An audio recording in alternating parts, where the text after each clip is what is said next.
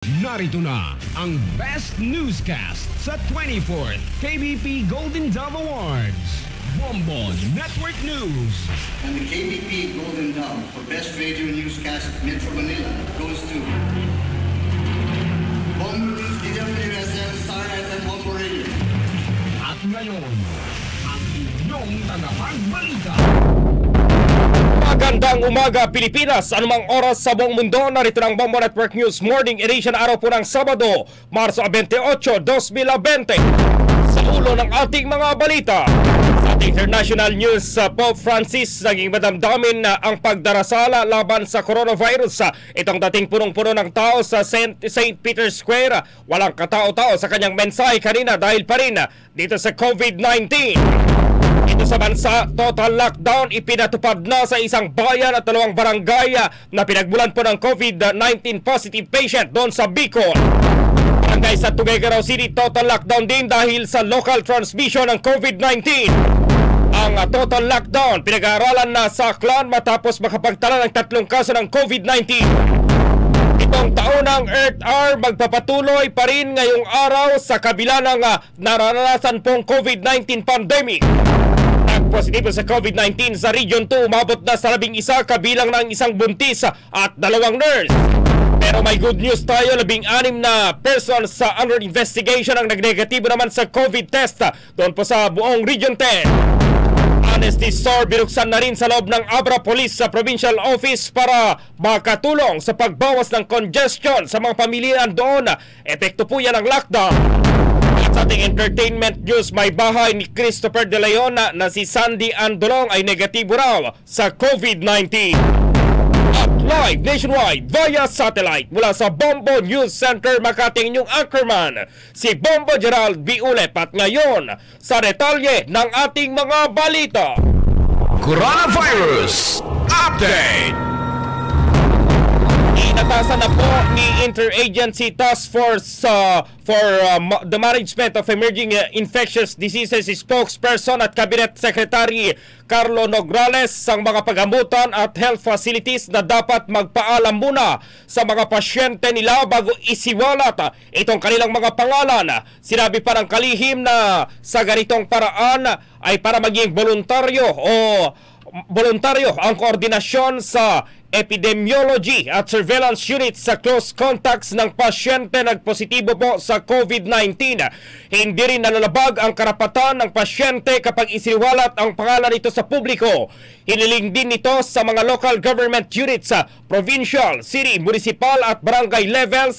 Ganon din sa Bangsamoro Autonomous Region in Muslim Mindanao ang paghahanap ng mga pasilidad na maaring gawing temporaryong isolation o quarantine facilities. Samantala, update muna tayo dito pa rin sa coronavirus at sa buong mundo ay nakapagtala na po ng uh, 592, 990 na, na kaso ng uh, COVID. Ang mga namatay umabot na sa 27,187 habang itong mga nakarecover ay 132,520 dito sa Pilipinas.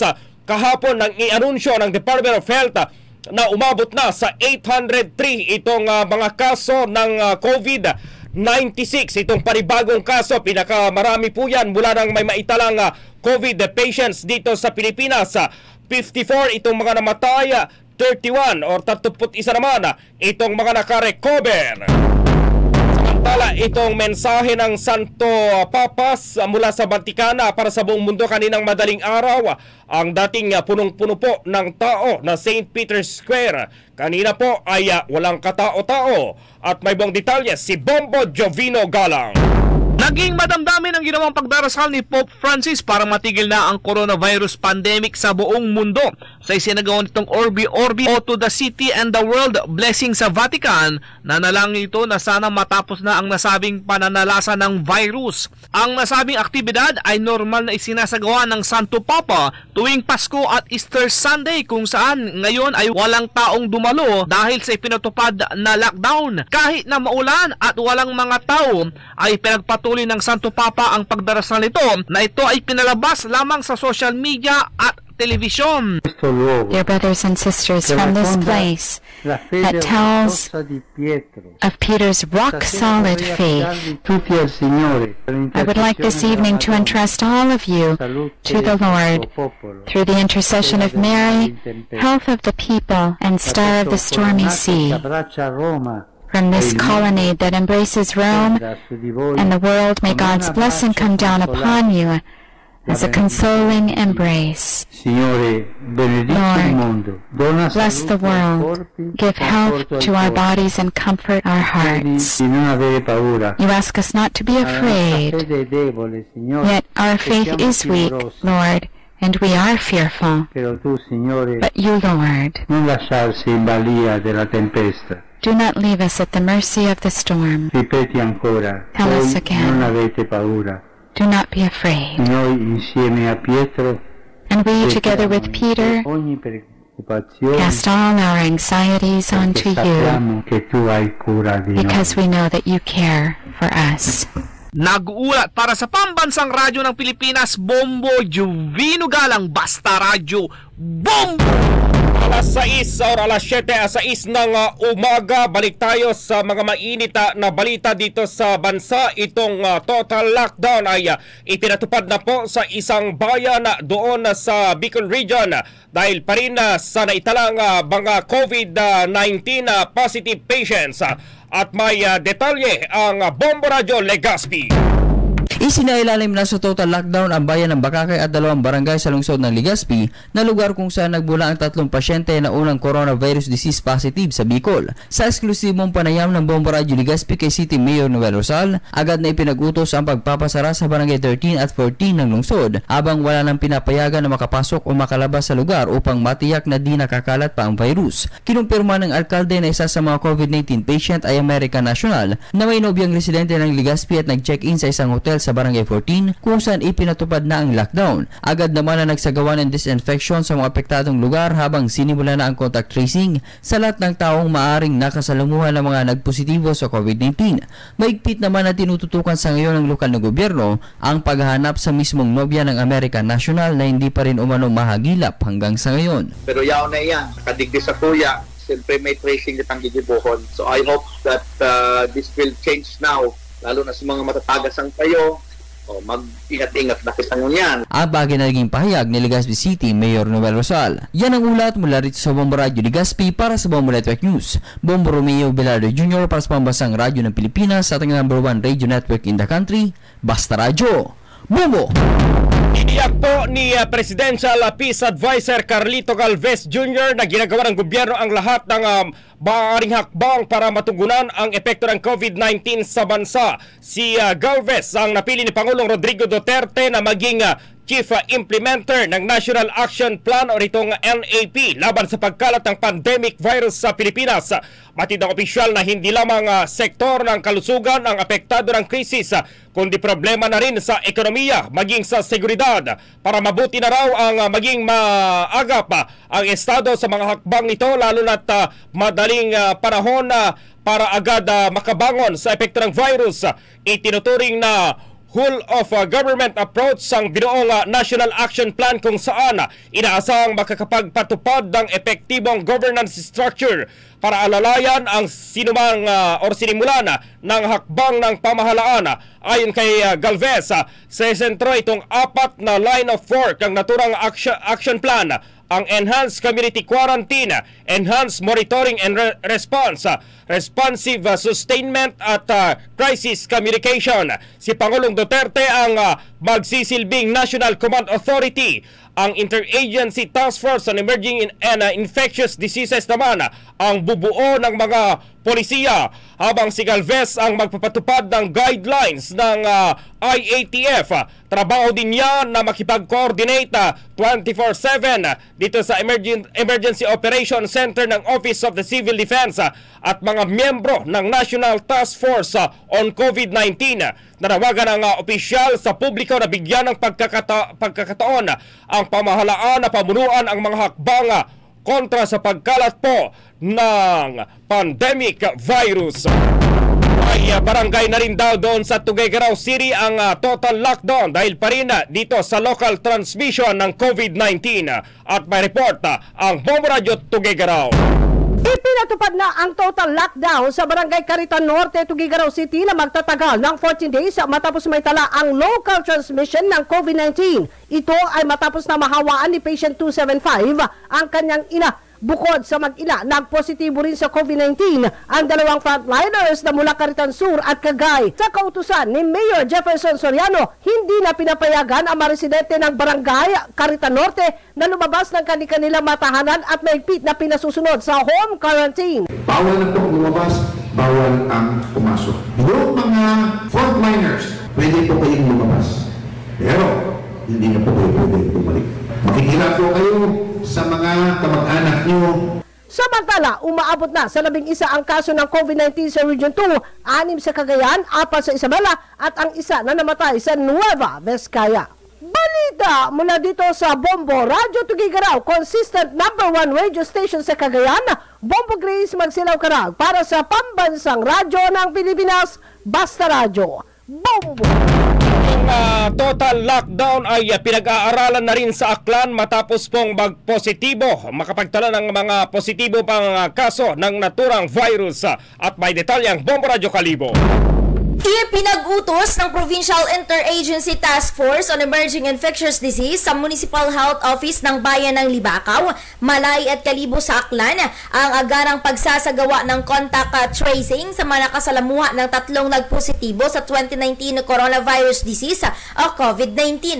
Ayon kay Provincial Health Officer 2 Dr. Cornelio Quachuan, kailangan na mahanap kagad ang mga nakasalamuha ng tatlo upang makuhaan ang mga ito ng specimen sample at maisailalim sa 14 days quarantine period. Una rito, sabay na lumabas ang confirmatory result ng tatlong pasyente mula sa Research Institute for Tropical Medicine or RITM. Ang unang kaso ay isang 81 anyos na lalaki mula sa bayan ng Libakaw na nagpakita ng sintomas ng COVID-19 at nasa strict home quarantine sa ngayon. Ang pangalawang kaso naman ay isang 37 anyos na lalaki mula sa bayan ng Malay na siyang may jurisdiction sa isla ng Boracay na isinailalim pa rin sa strict quarantine sa isang hotel sa Kalibo na pagmamayari ng gobyerno. Habang ang ikatlong kaso ay isang 68 anyos na lalaki na kahit nasa stable condition at kasalukuyang naka-admit sa provincial hospital sa bayan ng Kalibo. Sa ngayon ay pinag-aaralan na ng gobyerno provincial ng Aklan ang rekomendasyon ng Provincial Health Office na isa ilalim sa total lockdown ang buong lalawigan upang hindi na kumalat pa ang sakit. Ang pinaka-immediate measures natin is to do the contact tracing, especially dun sa mga immediate family members who are in close contact with this confirmed case. We have to be quarantined for 14 days. Para sa Bombo Network News, mula dito sa Bombo Radyo Kalibo, Bombo April Joy Season nag-uulat para sa pambansang radyo ng Pilipinas at consistent overall number one sa Klana. Basta Radio, Bombo! Inanunsyo po ng uh, Catholic Bishops Conference of the Philippines o itong CBCP ang Day of Prayer para sa mga medical frontliners na lumalaban sa coronavirus uh, disease uh, ngayong uh, Marso 29 sa inilabas na circular ng CBCP ni President Archbishop Romulo Valles na mag-aalalay sila ng pagdarasal sa mga health workers sa linggo o itong uh, Sunday of uh, Lent. Isasagawa ito sa mga misa, rosaries, holy hours at maging sa personal prayers at isasama ang mga medical frontliners sa pagdarasal. Bukod anya sa pagdarasal sa mga health workers ay hikayatin din ng CBCP ang mga mamamayan na sumunod sa ipinatutupad na quarantine na dapat manatili lamang sa kanilang mga bahay. Itong mga ta- tao po para maiwasan ang pagkalat ng naturang virus. Yung uh, mga kaso ng COVID-19 sa Visayas ay patuloy pong nadaragdagan at may detalye ang Bombo Radio Cebu.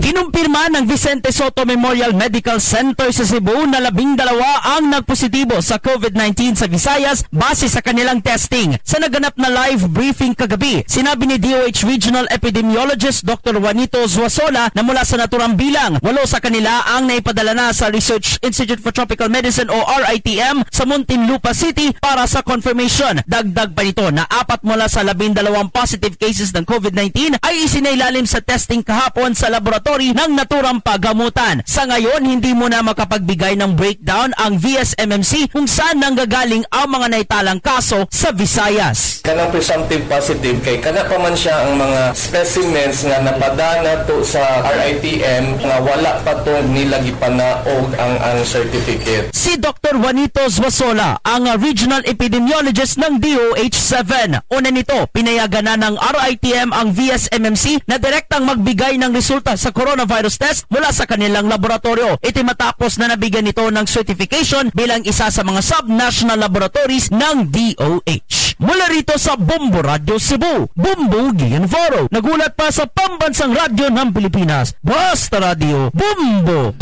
Pakinggan muna natin itong ilang paalala muna naman sa PCOO at KBP.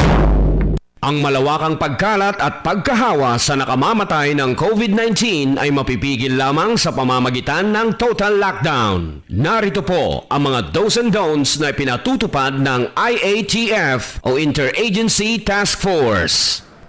Who may go out of their homes? Do's. Only one person per household would be able to buy or access basic necessities. Barangay captains must check for compliance. Employees of establishments involved in the production, processing, and distribution of basic necessities such as food sa mga supermarkets, groceries, convenience stores at wet markets, pharmacies and drugstores, and banks or remittance centers. Sino pa ang uh, pwedeng PNP, AFP, and other uniformed personnel.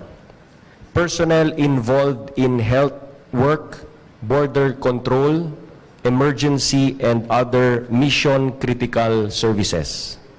Media, with the authorization from PCOO. Paalala lang po, always bring and present the following at designated checkpoints.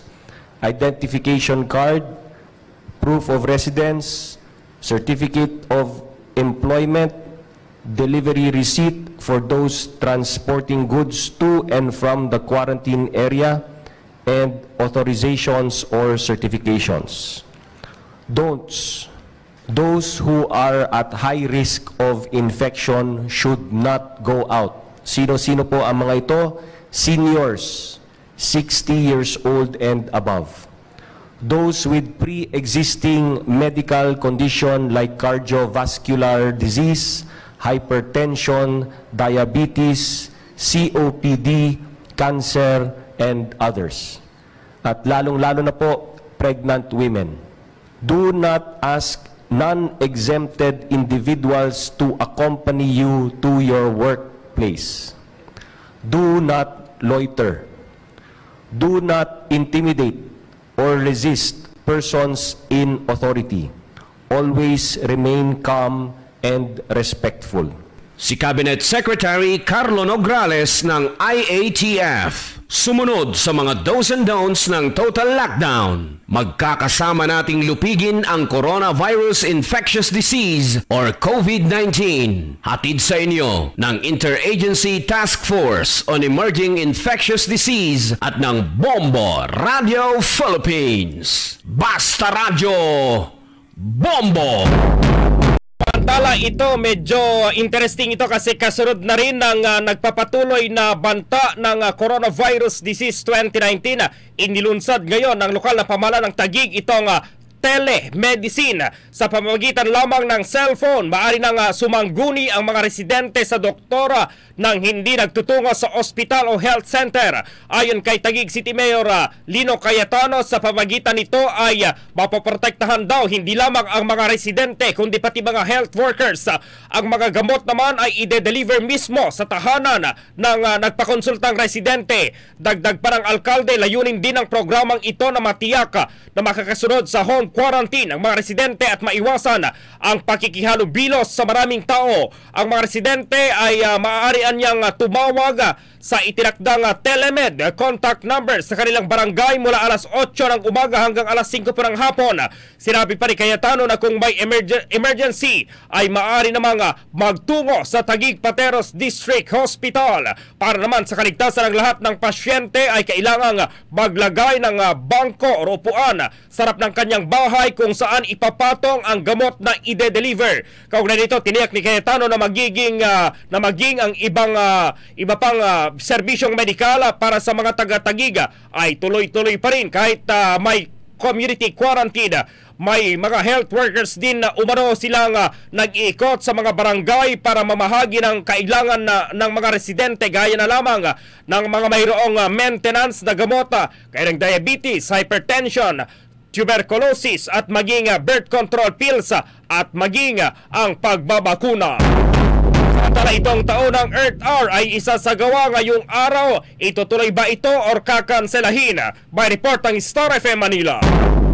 Sa kabila ng nagpapatuloy na enhanced community quarantine sa buong Luzon at ibang bahagi ng Visayas at Mindanao, tuloy pa rin at marami pa rin ang makikisa sa taon-taong aktibidad na Earth Hour. Ilan sa mga nauna nang nagpahayag ng suporta ang iba't ibang mga artista katulad ni na Evidence Cell na magsasagawa pa ng online concert. Ang mga lokal na government units naman ay nagpahayag din ng pakikisa sa kabila ng mga panahong ito na puspusan ng pagbabantay sa mga komunidad upang mapanatili ang istriktong pagpapatupad ng quarantine. Ang tema ng Earth Hour ngayong taon ay Change the Ending na sumasalamin sa kasalukuyang nararanasan ng mundo kabilang na ang COVID-19 pandemic. Isasagawa ang Earth Hour dito sa Pilipinas ngayong araw mula alas 8.30 hanggang alas 9.30 ng gabi at sabay ang gaganapin rin sa iba't ibang bahagi ng mundo. Para sa Bombo Network News, nag-uulat Star DJ Bong ng Star FM Manila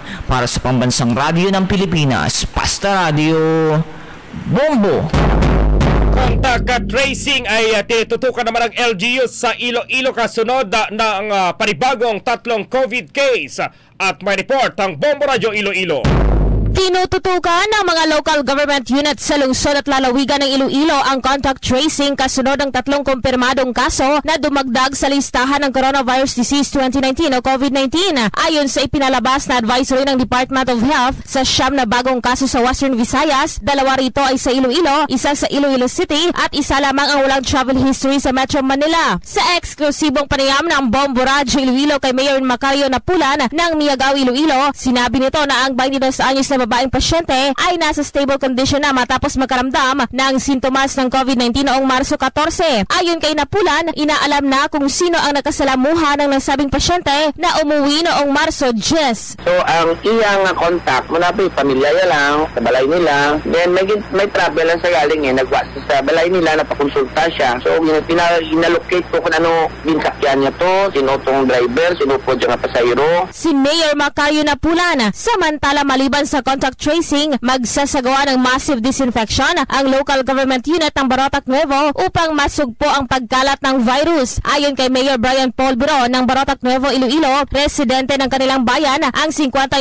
anyos na babaeng negosyante na nagpositibo sa COVID-19 ngunit wala namang travel history sa Metro Manila. Inihayag ni Biro na isa sa ilalim sa extreme community quarantine ang dalawang barangay sa kanilang bayan kung saan pagbabawalan ng mga residente na lumabas ng bahay sa loob ng ilang araw. Sa ngayon, nasa maayos na kalagayan ang 59 anyos na pasyente kung saan bago pa man nagpositibo, tumanggap pa umano ng mga bisitang seafarer ang pasyente. They will not be allowed out of their houses. Uh, operations will be suspended. Uh, this is operations in the in the private sector. The our, our municipio is still uh, still working. Si Mayor Brian Paul Biron sa Iloilo City, binawian ang buhay noong Marso 19 ang 72 anyos na lalaking pasyente na may travel history sa Metro Manila na pag-alamanan sa Western Visayas, umaabot na sa labing tatlo ang kaso ng COVID-19 kung saan sa unang apat na kaso ay naitala sa Bacolod City, Gimbal, Iloilo, Iloilo City at Hamindan, Capiz. Para sa Bombo Network News mula rito sa Bombo Radyo Iloilo to si Bombo Marvlin Villana nagulat para sa Pambansang Radyo ng Pilipinas, consistent overall number 1 si Iloilo, Bast Radio, Bombo. Samantala, ah, may good news din tayo sapagkat halos 20 ah, persons sa under investigation ang nagnegatibo po sa COVID-19 at may detalye ang Bombo Radio Cagayan de Oro. Ibinunyag ni Northern Mindanao Medical Center Chief Dr. Jose Chan na kritikal ngayon ang kalagayan ng isang patients under investigation o PUI na nakakonfine sa nasabing bahay pagamutan. Ayon kay Dr. Chan, na-expose ang 71 anyos na pasyente sa kanyang kamag-anak na may history travel abroad na unang nagpositibo sa coronavirus disease kung COVID-19. Gayon pa man, ipinangako ni Chan na kailang gagawin ng lahat upang magamot ang pasyente. Samantala, Pinansya naman ni Department of Health Northern Mindanao Director Dr. Edliano Subaan na labing anim ka mga PUI sa buong riyon ang nagnegatibo sa COVID-19. Ito'y kinabibilangan ng dalawa sa Bukidnon, apat sa Misamis Occidental, dalawa sa Lanao del Norte, dalawa sa Lanao del Sur, dalawa sa Bukidnon, tatlo sa Camigan at isa sa Cagayan de Oro City. Ada isang uh, critical corona pasyente yung Dili sa PUI nga purely tungod sa nasigibati tungod sa critical. Tungod lang siya kaya na-expose siya sa sa kapwente na hindi kami biyahe o ng sugo. Ang payag ni NMMC Chief Dr. Jose Chan. Yan ang ulat galing sa Bombo Radio Cagayan de Oro, Bombo Chain Buna para sa pambansang radyo ng Pilipinas at consistent number one sa Northern Mindanao. Basta Radio. Boom! Sa Abra ay ah, mayroong ah, diskarte itong ah, mga otoridad ah, para na rin ah, makatulong sa pagbawas ng congestion sa, pa- sa mga pamilihan at may detalye ang Bombo Radio Baguio. Binuksan na ang honesty store sa loob ng Abra Police Provincial Office sa Camp Juan Villamor, Banged, Abra kasabay ng nagpapatuloy na enhanced community quarantine sa buong Luzon dahil sa COVID-19. Ayon kay Police Colonel Alfredo Dangani, Provincial Director ng Abra PPO, sa pamamagitan ng honesty store ay maipapasiguro ang kaligtasan ng mga personal sa pagbili ng mga basic commodities. Makakatulong din ito aniya para maiwasan ang kasikipan sa mga merkado at groceries doon. Maipapakita pa niya dito ang katapatan ng mga personal ng Abra PPO kasabay ng krisis na dulot ng COVID-19 pandemic kung saan ilalagay lamang ng mga bibili ang kanilang bayad sa designated payment box. Bukas ang nasabing honesty store tuwing Martes at Huwebes kung saan pwedeng ibenta ng mga personal ang kanilang local products gaya ng mga agricultural products. Sinabi pa ni Dangani na makakatulong ang proyekto para maibenta ang produkto ng mga magsasaka sa Abra. Una rito, naging hakbang ng Abra Provincial Government na bilhin ang mga local products ng mga magsasaka doon at ang mga ito ang kanilang ipinapamahagi bilang family food packs sa mga mamamayan ng Abra. Balita mula Bombo, Radyo Baguio, Bombo Glory Belegan para sa Pambansang Radyo ng Pilipinas at consistent number 1 dito sa City of Pines, Basta Radyo, Bombo! Mga sandaling ito, narito po ang pagpupugay ng Bombo at Star FM sa ating mga frontliners na tuloy-tuloy ang serbisyo sa pangamba sa gitna po ng pangamba ng COVID-19. COVID-19. Talamak. Kumitil na sa buhay ng marami. Rumaragasa sa ating lipunan. Sumisira sa pangkaraniwang takbo ng ating kabuhayan. Mga kababayan, kaya nating talunin ang COVID-19. Tumalima sa social distancing. Manatili sa inyong mga tahanan. maging malinis at hygienic sa katawan at kapaligiran. Sundin ang pinapatupad na enhanced quarantine ng pamahalaan. At sa mga frontliners ng ating laban versus COVID-19, ang aming pagpupugay sa mga doktor, nurses, medical support team at hospital staff. Saludo rin kami sa mga national, provincial, city, municipal at barangay officials at mga health workers. Mga king pasasalamat pati na rin sa mga taong nasa service industries at media. Lahat po sila ay nagsasakripisyo at buwis buhay na nagsisilbi sa atin. Sa ating mga kapulisan at miyembro ng Armed Forces at sa lahat ng mga tahimik na mga mandirigmang gumagawa ng paraang ipakita na tayong mga Pilipino ay di kayang talunin ng anumang pandemic. Sakit ka lang COVID, Pinoy kami! Kasama ng lahat ng mamayang Pilipinong mandirigmang lalaban versus COVID-19.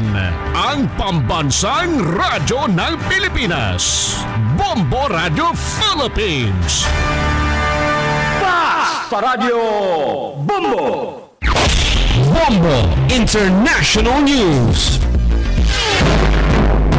Ilang ah, Filipino po doon sa Wisconsin doon sa USA ay uh, asang wala raw pagtaas sa presyo ng mga basic commodities matapos pong pirmahan na itong coronavirus sa stimulus sa bill at may detalye ang Bombo Radyo Lawag. Umaasa ang ilang mga Pilipino sa Wisconsin, USA na hindi tataas ang mga basic commodities matapos pirmahan ni Presidente Donald Trump ang 2.2 trillion stimulus package para labanan ng coronavirus disease 2019 o COVID-19. Sa panayam ng Bombora Jalawag kay Justone Olivo, residente ng Wisconsin at tubong Marcos Ilocos Norte, sinabi na dapat ipatupad ng gobyerno ang price freeze para hindi magtaas ang mga grocery stores ng kanilang presyo sa mga pangunahing bilihin ng mga tao. Inahayag ni Olivo, sa pamamagitan nito ay hindi mahihirapan ang mga tao at matipid ang matatanggap nilang tulong mula sa stimulus package. Uh, masken ng gobyerno, uh, ipatungpal na, hindi makukuha na price freeze. Samantala, sa sitwasyon ng kanilang lugar ay sinabing nakasara na ang ilang mga establishmento matapos ipatupad ang stay-at-home order. Aniya, mahigpit naman na sinusunod nila ang social distancing kahit may ilang mga tao pang lumalabas para sa importante nilang lakad. Dagdag nulibo na umaabot na sa mahigit 900 ang kaso ng COVID-19 at labing apat ang mga namatay dahil sa virus sa kanilang lugar. Yan ang balita mula dito sa Bombora Jilawag para sa Bombo Network News. Bombora ni Durilag nag-uulat para sa pambansang radyo ng Pilipinas at consistent overall number 1 dito sa Ilocos Norte, Basta Radio. Bombo! Bombo Entertainment News. Good news ulit sapagkat uh, nagnegatibo po sa coronavirus si Sandy Andolong ang may bahay ng aktor na si Christopher De Leon. Kinumpirma mismo ito ng aktor kung saan labis ang pasasalamat niya dahil uh, hindi ito nahawaan. Nauna kasing uh, napaulat na nagpositibo sa coronavirus ang aktor subalit matapos ang ilang araw na self-quarantine ay nagnegatibo naman ito. Itinuturing ng aktor na isang uh, magandang regalo ang pagnegatibo nila sa virus dahil ipagdidiwang nila itong kanilang uh, ika-apat na pong uh, wedding anniversary. Samantala dahil pa rin po sa pagkalat ng coronavirus disease sa buong mundo, samahan niyo po kami sa isang panalangin para na rin sa kaligtasan po ng ating mga kababayan. Narito po ang Oracho Imperata. God our Father, we come to you in our need to ask your protection against the 2019 coronavirus disease that has claimed lives and has affected many. We pray for your grace for the people tasked with studying the nature and cause of this virus and its disease, and of stemming the tide of its transmission. Guide the hands and minds of medical experts that they may minister to the sick with competence and compassion, and of those governments and private agencies that must find cure and solution to this epidemic. We pray for those afflicted, may they be restored to health soon. Grant us the grace to work for the good of all and to help those in need. Grant this through our Lord Jesus Christ, your Son, who lives and reigns with you in the unity of the Holy Spirit, God, forever and ever. Amen. Luzon, Visayas at Mindanao maging sa buong mundo. Yan ang kabuuan ng Bombo Network News Morning Edition. Balikan ko lamang itong ating mga headline. Uh, international news, si Pope Francis naging madamdamin ang pagdarasal laban sa coronavirus. Itong dating punong-puno na, ng uh, tao na St. Peter's Square ay uh, walang katao-tao sa kanyang mensahe kanina dahil pa rin uh, dito nga sa coronavirus disease na sinabayan pa po ng pag-ulan. Total lockdown ipinatupad na sa isang bayan at dalawang barangay na pinagbulan ng COVID positive doon po sa Bicol. Barangay sa Tugaygaraw City total lockdown din dahil sa local transmission ng COVID-19. Total lockdown pinag-aaralan naman sa Aklan matapos sa makapagtala ng tatlong kaso ng COVID-19 unang Earth Hour na magpapatuloy pa rin ngayong araw sa kabila ng uh, naranasang COVID-19 pandemic. Positibo sa COVID-19 sa Region 2 umabot na sa labing isa kabilang na itong isang buntis at dalawang nurse. Pero may good news tayo sapagkat uh, halos 20 nag-negatibo sa COVID test sa buong Region 10 si Store binuksan naman sa loob ng Abra Provincial Police Office para makatulong sa pagbabawas ng congestion sa mga pamilihan doon na epekto po ng lockdown. Ating entertainment news, may bahay ni Christopher De Leon na si Sandy Andolong negatibo raw sa COVID-19 live nationwide via satellite mula sa Bombo News Center Makati ang inyong anchorman, si Bombo Gerald B. Ule para sa pambansang radyo ng Pilipinas, Basta Radio. Bombo! Kalipunan ng maiinit at pangunahing mga balita sa Bombo Network News. Hatid sa inyo ng pambansang radyo ng Pilipinas. Bombo Radio Philippines. Pa! Pa Radio! Bombo!